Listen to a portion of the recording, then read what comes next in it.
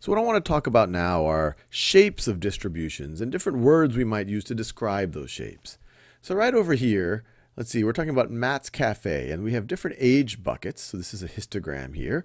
And in each bucket, it tells us the number of guests that are in that age bucket. So a lot of, we don't have any guests that are under the age of 20.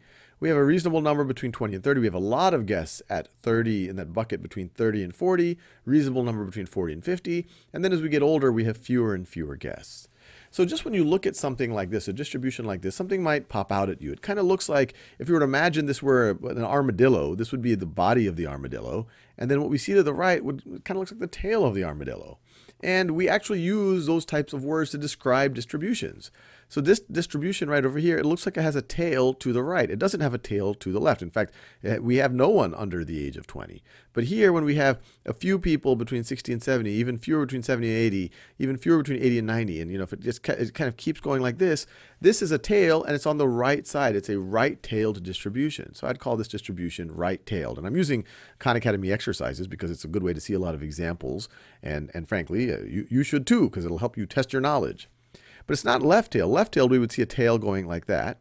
And frankly, if you're left-tailed and right-tailed, you're likely to be approximately symmetrical. Remember, symmetry, you define a line of symmetry, and one type of symmetry is one where if you were to, where both sides of that line of symmetry are kind of mirror images of each other. You could fold over the line of symmetry and they'll roughly meet. And this one does not meet that because if you were to say, hey, maybe there's a line of symmetry here and you're trying to fold this over, it wouldn't match up. The two sides would not match up. So I feel good saying that it is right-tailed.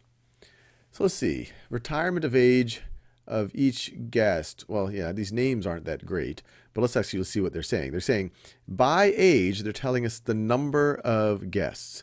So this is this is the number of guests at a Logan assisted living. So we have a lot of guests that are between 60 and 70 years old, or reasonable that are between 50 and 60, or 70 or 80. And this distribution actually looks pretty symmetrical if I were to draw a line of symmetry right down here, right at around an age of, you know, I guess the line would be right at an age of 65, I guess you could say, although this is a bucket for ages 60 to 70, then you could flip it over and it looks pretty symmetrical. Not exactly.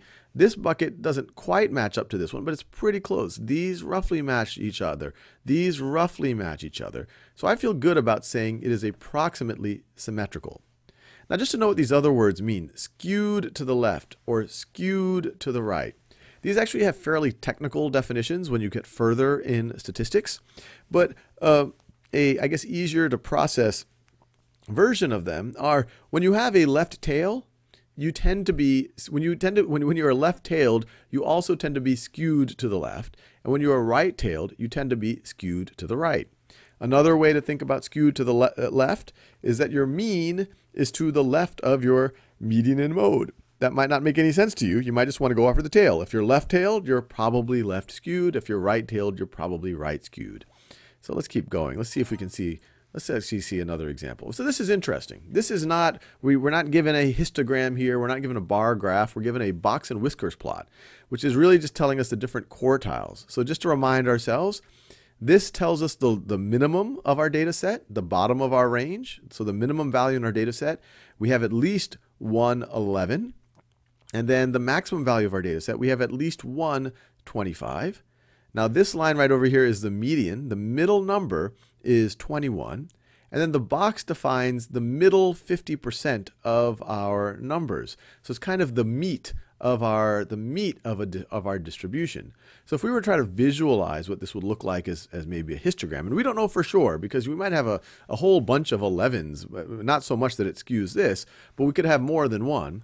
But a distribution that this could match up with is something that looks like having a tail down here and then you kind of bump up here. This is the meat of the distribution. It kind of looks something like that. And I can't draw because I'm doing this on the exercises right now. But for something like that, well, something like that would have a tail to the left. Would have a tail to the left.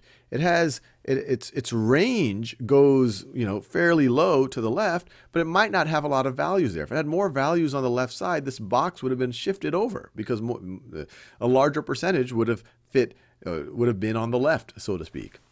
And so this one, I feel pretty good about saying this is skewed to the left. It's definitely not symmetrical. If it was symmetrical, the median would be would be pretty close to the center. The box would be pretty centered. And it's not skewed to the right. If it was skewed to the right, you would have a tail to the right. You would have this whisker would likely be much, much, much longer. And we're done.